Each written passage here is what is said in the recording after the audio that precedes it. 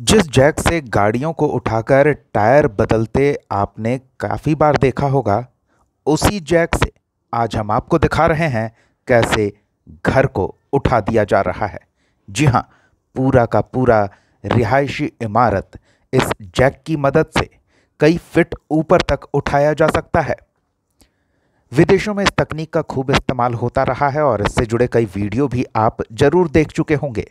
लेकिन बिहार के जहानाबाद में इस तकनीक से ये पहला प्रयोग होता दिख रहा है। जहानाबाद के द्वारकापुरम वार्ड संख्या 32 में इस मकान को जैक के ज़रिए उठाया जा रहा है। मकान मालिक अरविंद कुमार का कहना है कि उनका मकान जो काफ़ी पहले इस इलाके में बना था, वो सड़क बनने और आसपास दूसरे मकानों के बनने की वजह से थोड़ा नीचा हो गया था। जल जमाव की समस्या आ रही थी और नाली का पानी ठीक से निकल नहीं पा रहा था। उनका बेटा, जो कि सिविल इंजीनियर है, उसे इस तकनीक के बारे में और इस तकनीक से मकान को ऊँचा उठाने वालों के बारे में जानकारी हुई। उसने संपर्क किया और गाजियाबाद के बिल्डर ने इस काम को सफलतापूर्वक अंजाम देने का बीड़ा उठाया। इस काम में किसी तरह का कोई खतरा अगर मकान मालिक को लगता है तो इस खतरे के निवारण के लिए बिल्डर रिटर्न एग्रीमेंट करते हैं कि किसी तरह का कोई नुकसान नहीं होगा, और अगर ऐसा होता है तो इसकी भरपाई बिल्डर करेगा।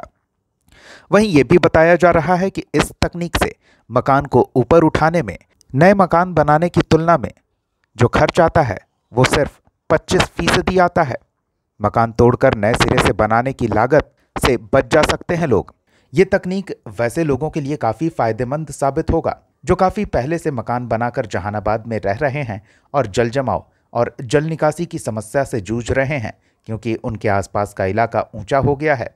तो उनके लिए कम खर्च में ये तकनीक जल जमाव और जल निकासी की समस्या का बेहतर समाधान साबित हो सकता है।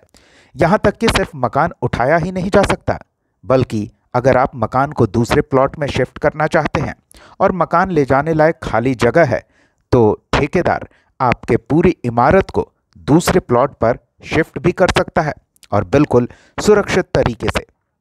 तो आप इन तस्वीरों को देखिए। कमेंट सेक्शन में हम आपको ठेकेदार के नंबर से रूबरू कराते हैं तो आप हमारा कमेंट सेक्शन देखिए और वहाँ इस ठेकेदार से संपर्क करने का ज़रिया भी आपको मिलेगा। और इस पूरी प्रक्रिया के बारे में हमने एक लाइव वीडियो भी किया है तो आप हमारे चैनल के लाइव सेक्शन में जाकर उस पूरे वीडियो को देख सकते हैं और पूरी प्रक्रिया को समझ सकते हैं। और हमारे चैनल को सब्सक्राइब करना ना भूलें शेयर ज़रूर करें कमेंट सेक्शन में अपनी प्रतिक्रिया ज़रूर दें।